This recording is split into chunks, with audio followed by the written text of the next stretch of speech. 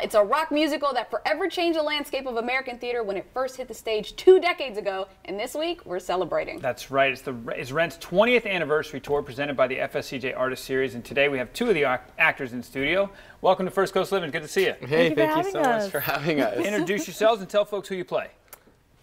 I'm, uh, I'm Aiyana Smash. I play Mimi Marquez. Uh, I'm Coleman Cummings. I play Roger Davis. Oh, And for those who have lived under a rock for 20 years um, and don't know the one of the greatest musicals of all time, Rent, uh, give a little synopsis. Uh, Rent is uh, now a period piece set in the 90s, um, and it follows a group of eight different uh, struggling artists following their dreams in New York City and dealing with everything that life's throwing at them AIDS, um, love, loss. Yeah. Um, Not yeah. paying rent. Not paying Oh, rent. right, not Rent being, is probably being the big homeless. one. Yeah. Yeah. Yeah. All right, so how long have you guys uh, been on the road so far? Five months so far. Yeah. Wow. Five months. And how much longer do you got to go? Uh, about. We're about halfway through. Yeah. We'll be finished in May. months, four All and a right, half so you had a show last night. How'd that go?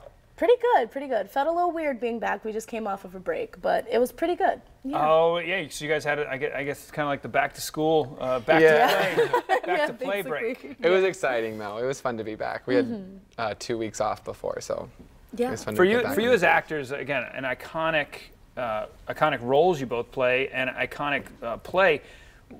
Lead it in your careers. Was this one that you know that you have bullet you have on the bulletin board? Like I'm going to get to this one. Is this one of those that you were like, Was this on the vision Yeah. board?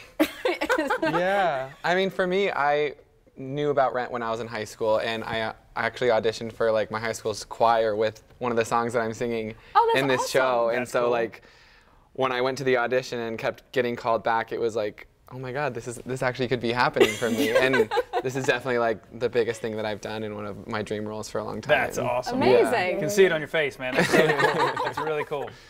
Yeah, I, you? I found out about the show in college actually. I wasn't a big musical theater person to be honest. I just started um, turning into a. I started taking a musical theater course in um, the Institute for American Musical Theater.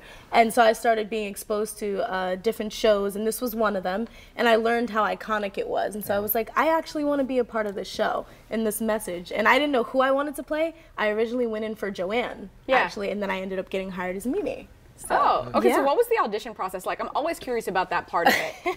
Um, very nerve wracking. Yeah. In my opinion. I mean, it's super intense. The competition is like so thick, and the initial call is like lines of hundreds of people, and you wait and you get in the room for like 30 seconds, Gosh, and I you cannot hope imagine it just went sitting well. there and you're like looking. Looking at your competition. Yeah. Yeah. Oh my gosh. it's yeah. it's really crazy, and then as after the, the initial call, they'll call some people back in, and then like every time you get called in, there's less and less people, and Yeah. yeah, and you hope you're the one. Yeah.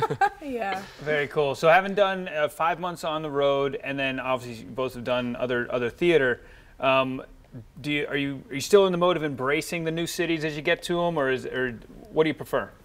I love embracing the new cities. Yeah, I think it's always fun and important to um, kind of explore and see what the city has to offer, Yeah. especially when we just have the show at night. We don't have anything going on in the early in the day. It's like mm-hmm. might as well go Yeah. and explore a But little Broadway bit. is Broadway still on the vision, vision board? Oh, Oh definitely. yeah, yeah, yeah. Yeah New York City goal. would be the goal. That's staying there. Yeah. Okay, so you're playing these characters, I mean, day in and day out for this, such a long period of time. Do you feel like you eventually take a piece of them with you, like outside of the, the theater sometimes? Yes. Yeah. Yeah? Yeah. Yeah, I Yeah, feel yeah, like yeah. I've definitely learned a lot from mm-hmm. playing Roger Yeah. over and over. And there's like so many layers and so many things you continue to discover like as you keep playing the role and learning. They are timeless. It's a timeless role, and it's crazy to hear you say it's a period piece. Right. now. Yeah. The 90s Yeah, is a it's period very piece. You know?